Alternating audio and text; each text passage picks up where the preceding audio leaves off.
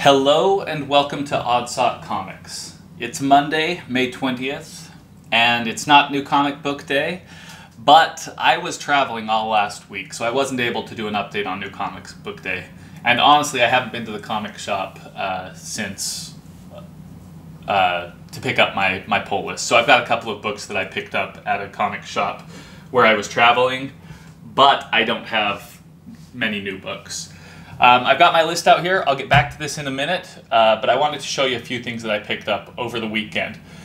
Anytime that I go out to travel, I try to hit up a couple of local comic shops. I didn't have a lot of free time this trip. I, ra- I rarely have free time, uh, but a lot of times I'm able to find. Uh, I, I'm, I'm driving from place to place, and I'll go out of my way just a little bit and spend an hour in a shop somewhere. I really enjoy doing that. That's one of my favorite things about collecting comic books uh, is meeting people, going out to find new shops. The uh, comic book community really is different from place to place. Uh, I'll get into that in a little bit. Uh, I went to a comic convention in a place very different from where I live, and the uh, atmosphere was very different than I, I was used to from the comic shops or the comic conventions that I've been to locally. But we'll get to that. So first of all, I want to get to a couple of back issues that I picked up in the last few weeks just move this over here. So the first one, uh, I missed a book on Free Comic Book Day that I wanted. Uh, I got Spider-Man that has the uh, introduction of Carnage back into the storyline, a little bit uh, representing what, what's going on with him. So I, I didn't pick this up on Free Comic Book Day. I went to a local shop a few days later and I was actually I think I think I was looking for this book, um, Friendly Neighborhood Spider-Man, and uh, while I while I purchased this book, I picked up the free comic book day as well. They had a, a pile of, of books that they left. I knew that they would have them. That was one of the reasons that I went to this shop. It's not my normal shop. It's actually kind of an interesting shop because it's run by people that don't seem to know very much about comic books. So sometimes you find some really cool stuff and they just are kind of oblivious to it. Like I bought a Ms. Marvel number one for I can't remember if it was five or ten bucks, but way less than the market price for this Ms. Marvel number one. So I, I like the shop. I pop in every once in a while to see what they've got on the back shelf because they don't seem to know what they have regularly. Uh, and then sometimes things that are not interesting at all are way overpriced. But that's what you get. But those are the kinds of shops that are kind of fun. Okay, so I picked this uh, Spider Man Free Comic Book Day up. I went in to purchase Friendly Neighborhood Spider Man. Now, there's a lot that I want to talk to about this book because this book kind of spiked in value for a little while because it was announced as, and it says right on the cover, introducing Spider Bite. And, and I think there was a little bit of uh, a false bubble around this.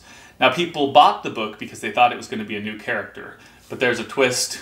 It's not actually a superhero, it's a really good twist. But because of that, this little bubble formed, and I think that the value of the book is probably back to cover price or less right now. And I think that's representative of a lot of what is going on in the comic book industry right now, in comic book sales, comic book speculation, and collections. Now, I'm not one to insult speculation totally. Uh, I think short term speculation definitely you can make money on it if you know how to maneuver it. But I honestly think I hear some of these people talk about long term plays and uh, some of the speculation, and it just does not make sense to me. I am a business person. Like, I am currently looking to buy a business and I analyze what the future potential of things is. That's the mindset that I'm in day to day. And I look at comic books and the it's not that comic books are can't be a good investment, but I can say that the actual uh, liquidity of being able to move a comic book for the high value that you expect to is not there most of the time. The very expensive books that seem to have a growth pattern to them, a lot of that is because they're rare and they don't move very often, so they don't sell very often, which means that they're not very liquid. You can't turn them into cash very easily. So you've got these smaller value books, these uh, you know, ten to fifteen dollar books that they spike. You can buy them for three or four dollars in a shop. Maybe some of them are back issues. You can find them for as low as a dollar, and then flip them for ten dollars. The thing is that the only value that you're providing there, and it is a value, and this is why I'm okay with speculation. But the value that you're providing there is not the new value of the comic book. You're just providing the value because where the books are versus the people that want them, there's a gap. And so you're filling that gap and actually offering a service to the people who are looking to to find that comic book for whatever the speculative reason is. That's kind of in that 10 to 15 dollar range. There's really not a lot of value that's created in a, in a book that goes from five dollars to fifteen dollars, or even one dollar to fifteen dollars. That you're not creating a lot of value, like maybe eight dollars. But you think about how much time it takes to box one up and take it to the post office, and then you subtract all of the fees and stuff. A fifteen dollar book, I don't care if you got it for free. You're not making enough money to cover for the time that it takes to get that done. So there's it's just it's not really a, a realistic market play. Now, it's I still do a little bit of that. Um, I'm not going to say that I don't sell books because I do, and sometimes I buy books just because I know that they're going to be worth fifteen dollars down the line. Um, most of the time, I try to get something that I don't mind holding as well. Okay, so with that said, I think that this one created that little bubble and it's back to nothing. But the tragic thing about this is that the story in this book is ridiculously good. And so people were buying it because they were speculating on some character that isn't going to play a real part in, in the universe or whatever.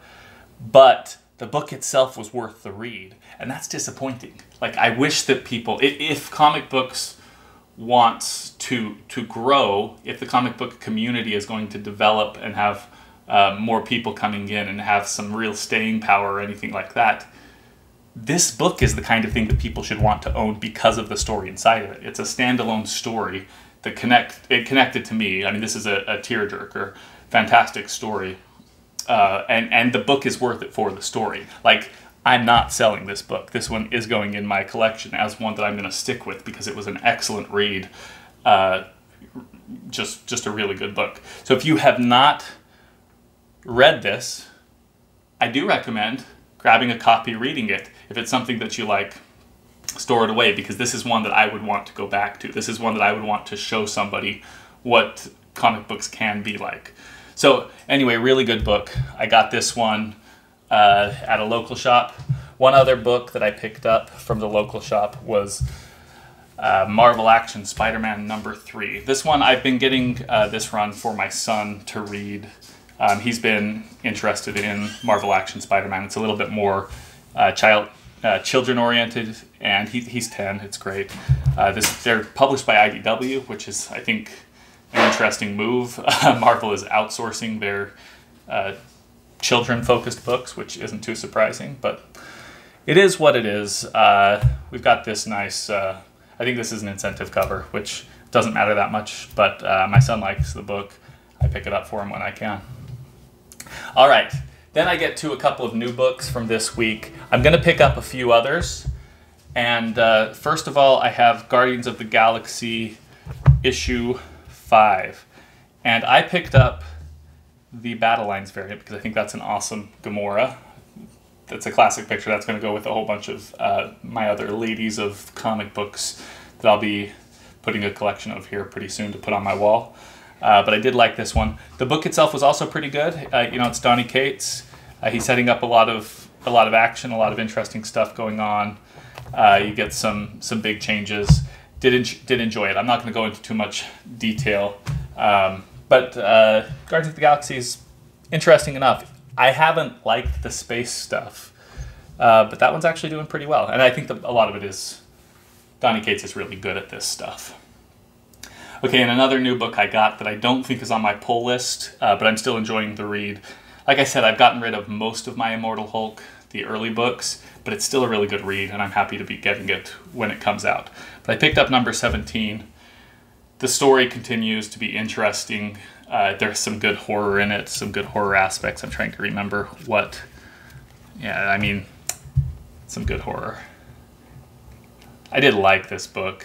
It, it's just a lot of fun stuff to to carry through.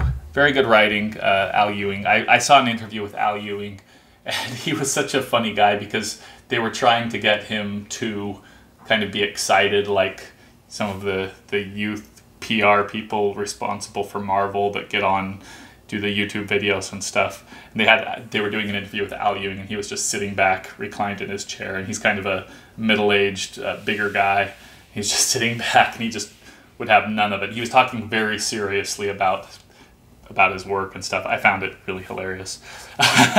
but what he is doing is very valuable to Marvel, which is awesome. Definitely appreciate that. Good job, Al Ewing. Okay, and then I picked up two uh, back issues uh, Thanos number three and Thanos number four. Uh, this was at a shop in New Jersey that I went to. Uh, that's, that's where I was traveling. I was in New Jersey. And I've picked up most of this Thanos run. This is the uh, Jeff Lemire that then Donny Cates took over. I don't know if he took over at issue 13 or maybe 9. I can't remember exactly. Uh, but I've, I've picked up most of them. I'm missing like 5 and 8, I think. Uh, but I was missing 4, so this is the first time I found four, four in the wild. And then number 3, they had it there. I have issue 3. I wasn't sure if I had it or not. I do, so I have an extra one. Uh, so I'll, I'll, I'll be, I don't know, putting this in a package or something. Uh, but I picked up a couple of issues of Thanos. I've been trying to get that whole run, and I've just got two more to pick up. So then, the last bit of news is I went to a comic convention. I went to East Coast Comic Con in New Jersey, just outside of New York City. And I'm sure the people that are up in that area know a little bit more about this than I do. It was very cool. It was a very comic book focused Comic Con as opposed to like the local one that I had here in Texas, uh, Dallas Fan Days was uh, much more you know, pop culture, kind of nerdy culture focused. Uh, so because it was so comic book focused, there were a lot of booths uh, with just long boxes. Now I had a very specific set of goals. I have the books that I'm looking for. Now I hoped that I could find Justice League Power Rangers, uh, the Archer variant. Or now this was a store exclusive that I think it came to two shops split it. This is my understanding, and I could be completely wrong. If anybody has any information or knows how I can get a hold of this book, this one has been a killer. It's very hard to find. I've only found people from the UK selling it. But I think that if I understand correctly, uh, Jetpack Comics, which is located, I believe, in New Jersey, and uh, Forbidden Planet, which I believe is in the UK, split this uh, retailer exclusive, and the two uh, stores split it and, and sold it, distributed it. So there's a whole bunch in, in the UK, but there's some in the US as well. Now I was thinking, you know, I'm closer to Jetpack Comics. Maybe there's a chance that this one will show up on an, on an aisle somewhere. So I was looking at every single booth trying to see if they had this book. I did not see it. I've never seen it. I'm still hoping to find it at some point. Uh, and I will I will buy it online if I have to. Looking to spend 50 bucks on it. If anybody knows where I can get it for that price, let me know. But I found something else, uh, and I wanted to do a little post-mortem of my experience there. So I'm, here it comes. Do, do, do, do. So I picked up Hulk 180. Now, this was on my list. It's my number 10.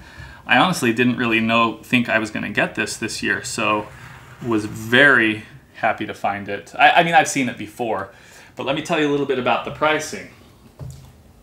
So I looked at several copies of, of basically all of the books that I have on the list here. And I looked at several copies of this book, and uh, most of them wanted $400 or more for about the same condition that this book is in. Uh, but I found a guy that for cash, he was willing to take $250. And he even had a Marvel Spotlight 5, except that it was a little bit lower. And he would, would was going to take 250 for that book as well. But it was like maybe a 2.0. I think it had a crease all the way across the cover. Uh, it was not looking very good. So I did not take the Marvel Spotlight number 5. I only took the, the Hulk 180. But he ended up selling it to me for $250. I had cash, so I was able to uh, cover most of that with cash. And uh, great book there were a couple of things. So first of all, I, I don't know condition wise. We've got a couple of um, spine ticks, a little bit of a roll here. You can see the staples are on the front. Uh, edges are pretty good. There's a little fold here. Got a little punch right there. Uh, you know, it's not it's not terrible. It's also not good. I have no idea what this would be. This is one of the things that I'm not sure of. This little, uh, the top was marked. I don't know if that's a, uh, if that would downgrade it, if the marker on this, the edge, I have no idea if that would uh, get it downgraded or call, call it color touched or anything like that. I really don't know. Uh, but one of the things that I do know, I saw a book that was about the same condition that ha- had the value stamp cut out that was they were asking 375 for and i actually felt that this book was in a little better condition and the value stamp is intact so i feel like i got a really good uh, collector book here uh, good quality looks good color's really bright so i and then obviously it's in a mylar so it's really popping here uh, but this is very happy to have it first uh, you know official wolverine may not be the big wolverine book but i'll take it for what it is uh, I've, I've stuck this on my wall for a little while. I'm going to end up packing it away, uh, but very happy to have a very cool book. And I am down to four books left. Now, I, I wanted to talk a little bit about the difference between the comic show that I went to in New Jersey versus the comic shows that I've been to in Dallas or other areas. In Jersey, it was very interesting. that the there were a couple of kind of arbitrage arbitrage scenarios where there were books that I know there are plenty of them available down here, and they tend to be a little bit less expensive here. But it seemed like in Jersey they were asking for double the price of what I was seeing at shops here. So there was like, uh, I think it's Spider Man 101, the first appearance of uh, Morbius. Uh, I've seen the second print down here for like forty dollars or so, and it looked like everywhere I was seeing it up there was like a hundred for the second print and like three hundred for the first print. I, I, actually don't know what the first print was. I just remember uh, I almost bought the second print because I thought that would be cool, even if it's not, you know, the big one. But uh, you know, there were a couple of situations like that. The other thing was the the show was a lot more collector oriented. There were a lot more uh, gold, not gold age, golden age. There were a few golden age. There was one uh, booth that had some amazing golden age books. I almost picked one up. Didn't care, didn't know what it was, didn't care what it was. The cover was just yelling at me from the wall, and I was so close to buying it. Uh, I just couldn't quite justify. It was like $115, and I had no idea what the value would be. Uh, but I was like, oh, that's such a cool book. I would just take that, and stick it on my wall. It's so cool to have something that old and big, and it's still in really good condition. Uh, and it was a really cool cover. Uh, it was a Startling Comics, but uh, I did not buy it, and I actually kept myself pretty limited. The only book that I bought was Incredible Hulk 180. So I went to this this uh, show. I had to be kind of careful about what I was buying because I'm traveling. I didn't want to, you know, overstuff my uh, my comic box that I was taking with me. Just a little, you know, ten book carrier to protect them. Uh, so I I was careful. The other thing that I was really interested in is they had a whole lot of comic book art, original art.